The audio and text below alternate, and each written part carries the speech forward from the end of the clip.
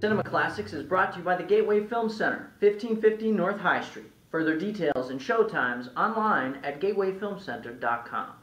The award-winning Cinema Classics is produced by John DeSando and Johnny DiLoretto. Listen to the shows online at wcbe.org. I'm John DeSando. And I'm Johnny DiLoretto, and this is Cinema Classics. Cinema Classics. We are at the Gateway Film Center. We are. And uh, something very exciting that happens here every year, John, is our celebration of Alfred Hitchcock.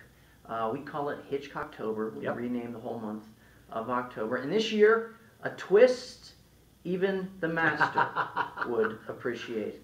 We are partnering up with Studio uh, 35 Cinema and Draft House in Clintonville. They are actually going to launch this year's Hitchcocktober on October 1st with a screening of Vertigo, which meant it's a one-time only screening. The whole celebration kicks off there.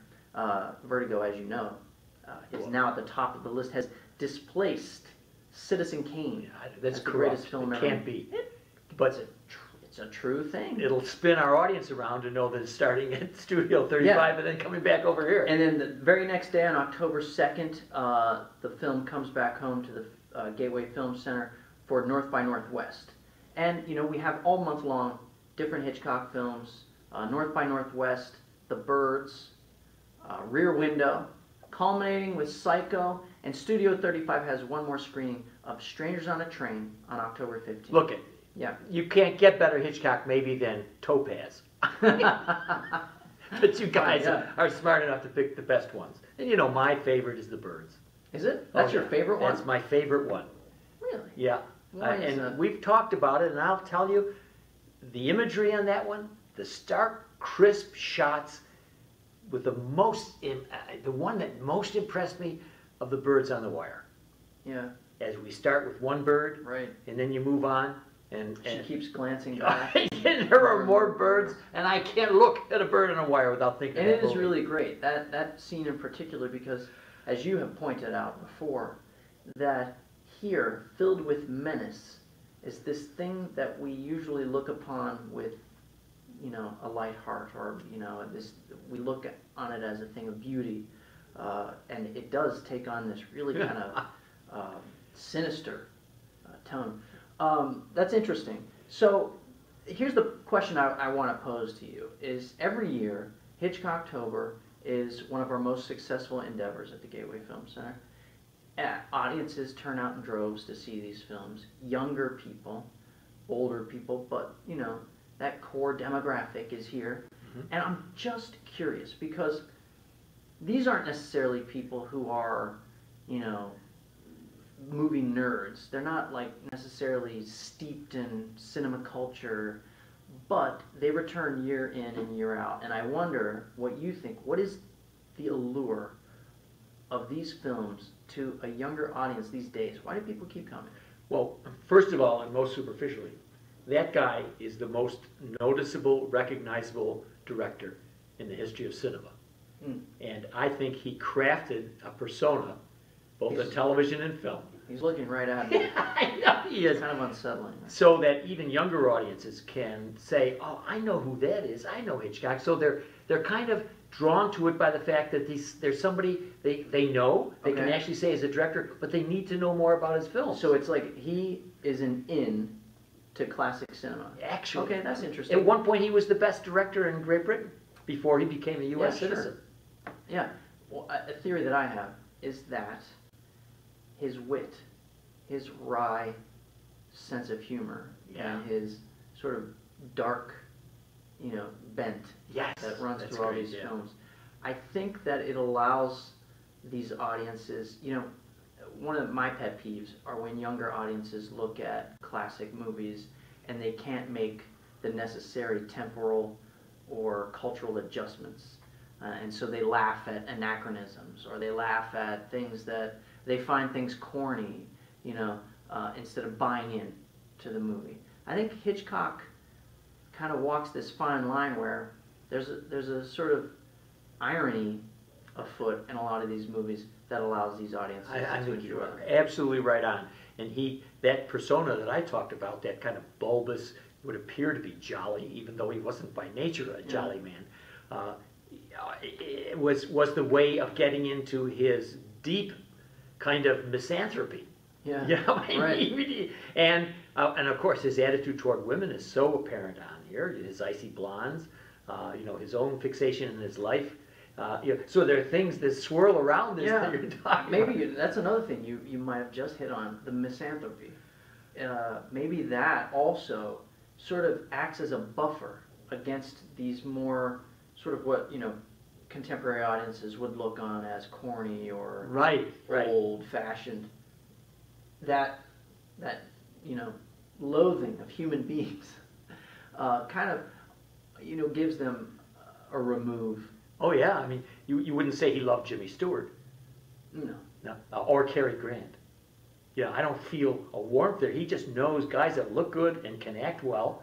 but he's also very smartly plugging those guys into roles in which when they bring their cinematic baggage is going to only give that part more depth it's only going to give Yes. it more nuance and it's going to be packed to the gills with psychological ramifications. So for instance when you take Jimmy Stewart, who at the time in the 50s, you know, uh, when he was cast in Vertigo and Rear Window and Rope, 1948 actually, but um, he had he'd come back from the war, he had made It's a Wonderful Life, he had made a name for himself in westerns, and so he did have that kind of all-American, charm Yep. about him and folksiness.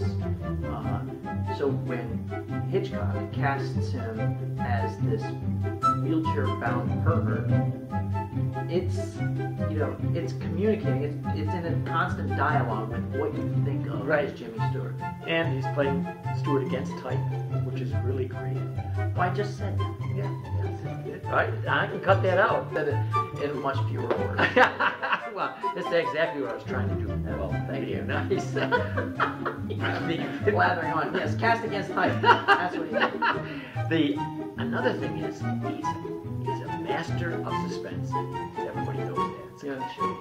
But he withholds information so beautifully, better than any filmmaker today can do. We've grown so sophisticated we can anticipate what's going to happen. Right. With Hitchcock at that time, you couldn't really anticipate it. He played with you, Yeah. cat with the, uh, you know, with the catnip, and then he springs it on you. So I think that listen, I think you're right. I think that you know at a time when uh, most people were looking to uh, assuage the audience or please the audience. right? Yeah. Hitchcock saw the value in antagonizing the audience, undermining their expectations, perverting their desires, uh, to great effect. Well, you mentioned too the underlying psychological elements, and if you take the best example being Psycho, the relationship between him and his mother, Yeah. you know, Freud would have eaten it up. And, and Hitchcock hit it there, but it looks like just a you know a really top grade horror film. But he's saying so much more about the relationship between a son and a mother, and uh, and so Well, you think know, of the ramifications of Psycho. I mean, you know, you had classic monster movies. You know, in the 30s, you had your Universal monsters, and then in the 50s, you had your sci-fi monsters and your Creature of Black Lagoon. So you had monsters. Uh, Psycho represents the first real human monster uh, representing the horror genre. I mean, that changed everything. Then from there on, that's where you get stuff like Texas Chainsaw, uh, Halloween, Fred, Friday the Thirteenth. You know, when Hitchcock really, you know, it's kind of he did uh, to human beings what he did with the birds. You know what I mean? He turned them into monsters. Okay.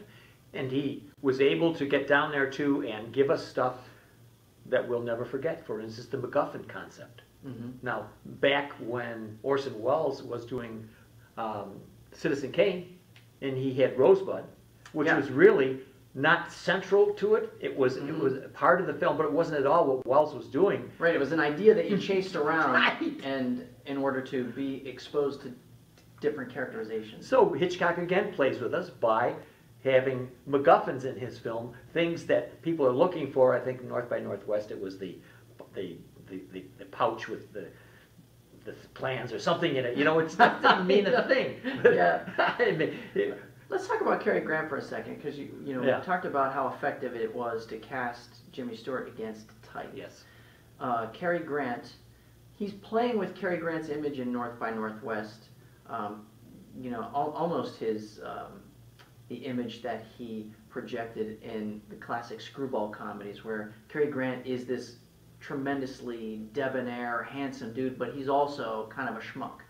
You know, and uh, Hitch is playing with that, but in a di- in a road movie sort of adventure espionage setting. Yeah, yeah, and it's, it's wonderful that you say that because um, Cary Grant was everything that any man looking at the film wanted to be. He wanted to look like, he wanted to be as cool and so on. And Hitch plays with us by putting him in real danger because, as you say, he is a schmuck. He's screwing up. Yeah. You know, and uh, they think he's a spy when he's just an advertising man.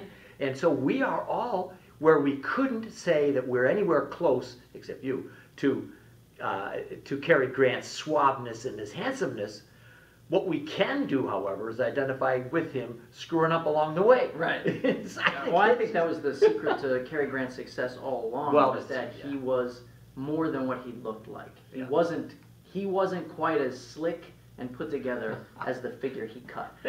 now, good. what's interesting, in To Catch a Thief, which is not playing in this series, Yeah, um, Cary Grant is cast as sort of Cary Grant.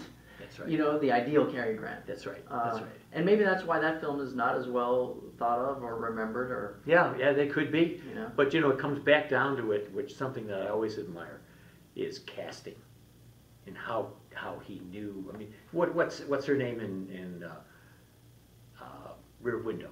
Oh, Grace Kelly. Grace Kelly. hmm This ice princess, how perfect, beautiful, sweet, charming, uh, but a danger to the Jimmy Stewart character. I mean, I Yeah. love. How did he know that she would be so good at it? How did he know Stewart and and Grant would be so perfect? I don't know. I know, but, but that is the genius. Now, as we're probably getting close to the end here, Yeah. this is your editor speaking. Right.